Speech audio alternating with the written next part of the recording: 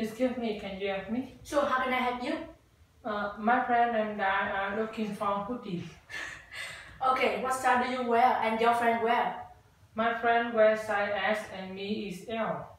Mm, actually, my size is L too. Oh, here your black hoodies. Uh, do you uh, like this one? Uh, it's pretty. I, I got two of this. Excuse me, can I get the blue one, please? Sure. Here your blue hoodie. Thank you. Uh, is there anything else do you want? Mm, I want a black jeans, a Gucci sandals, and the most expensive shoes in this store. Okay. Here and here your bill. Thank you. Do you want to pay by uh, in cash or credit card? Mm, I want in credit card actually.